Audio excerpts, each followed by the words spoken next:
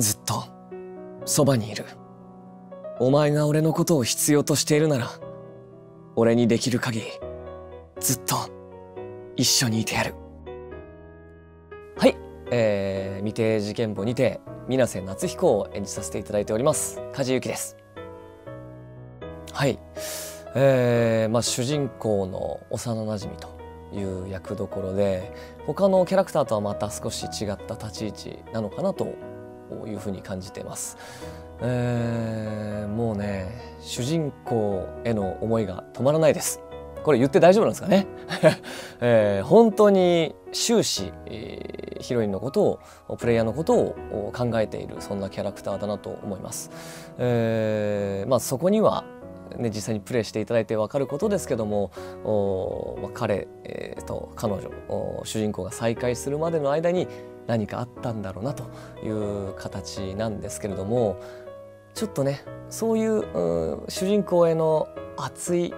思いはありつつもどこか影のある、うん、ちょっと寂しさも垣間見せるそんな夏彦がすごく僕としては魅力的でしたし演じていて楽しいキャラクターだなと感じました。うん。結構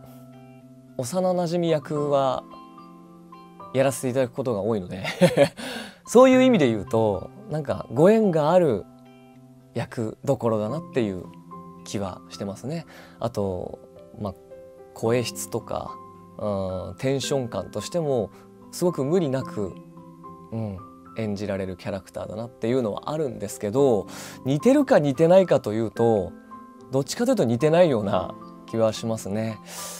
まあそのさっきのキャラクターの説明でお話ししたようにちょっと影がある部分、うん、うん、主人公とまあ、再会するような形なんですけどその間にいろいろあって自分の中で、ね、その主人公を思うがために、うん、すごく優しすぎるがゆえに自分の気持ちを隠してしまうような部分があ夏彦にはあるので僕はどっちかっていうと、うん、これは自分のためにもそして相手のためにも今伝えるべきだと思うことは言うタイプなので、うん、その何でしょう優しさあ夏彦の優しさっていうのがすごくリスペクトできる感情だなと思いましたね。うんまあ、今回のこの「未定事件簿」という作品がミステリーと恋愛2つの要素を大きく分けるとあると思うんですけども、まあ、その推理パートとね恋愛パート。うんいやなのでこう本当に違うゲームを2種類収録しているんじゃないかなっていうぐらい、えー、全く違う印象でゲームを楽しんでいただけるんじゃないかなとセリフを読みながら感じておりました。えーまあ、夏彦は探偵というような役どころっていうのもあってまさに推理うん、しているんですよね。そのセリフの展開っていうのが言い回しとしてはすごく難しいんですけど、うん、それをこうロジカルに、えー、論理的にこう組み立てて話していくその過程っていうのが実際にお芝居しててすごい楽しかったですしあとはこう主人公と、まあ、恋愛をしていく中で、まあ、デートみたいなね、えー、イベントがあったりしてそこでのちょっとこう数理パートとはまた違うコミカルなあやり取り、うん、あと夏彦のちょっとあ、まあ、ツンデレっていうほどツンツンしてないな。うん。なんか照れすぐ照れちゃうみたいな。うん。で、えー、ごまかそうとしてうまくいかない。でちょっと主人公とこうチクチク言い合っちゃうみたいな。でも最終的にごめんみたいな。そんな夏彦がね可愛いなと思いつつうん本当最後まで演じさせていただいたなという感じですね。はい、えーまあ、僕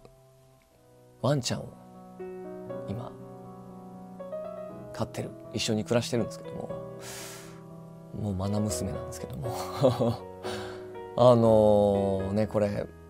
ペットと一緒に暮らしてる方は分かっていただけるんじゃないかなと思うんですけどもそれどこにあったっていうものを加えて持ってくるんですよね。あのティッシュとか靴下とか、うん。まあ、なるべくねその遊んだら危ないな。それをもし、ね、飲み込んだら危ないなっていうものは彼女が手の届かないところ、まあ、手というか口というかねに置くようにしてるんですけどにもかかわらずなんかこうこれ見よがしに加えてで本当にそれでいたずらしたいんだったら自分のいつもいるテリトリーエリアに行って遊べばいいんですけどわざとその僕の前にこう加えたまま持ってきて加えたままこう顔を見てくるんですよね。それがねたまらなく可愛いんですよ。うん。どっちかっていうと「ああこらダメでしょ!」って言ってほしがってるというか追いかけ回されたいというか、うん、そのいじらしさが何ともね言えなくもうキュートなんですけれども。なので僕の未定事件簿はですねそのやつが持ってくる加えてくる物はどこから来てるのかどこに行って持ってきてるのかそれが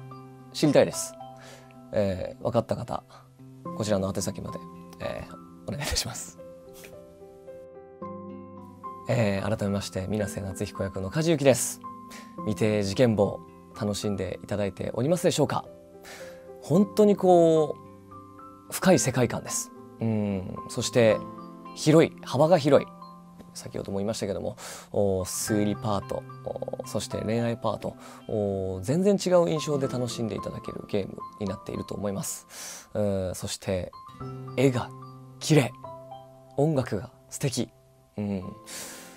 もうねそのシナリオを読み進めるだけでも楽しいと思いますし逆にこう見てるだけでも癒されたい、えー、聞いてるだけでも癒されたい、うん、そして各キャラクターとちょっとねビデオ通話もできちゃったりするんですよ。その辺がなんかこうゲームキャラクターっていう枠を少し超えて身近にキャラクターそしてこの作品を感じていただける要素にもなっているのかなと思いますので、えー、きっとねどんどんどんどん新しいストーリーも更新されていくんじゃないのかなと思っておりますので、えー、長く見て事件簿そして夏彦と一緒に楽しんでいただければなと思っております。これからどうぞよろしくお願いいたします。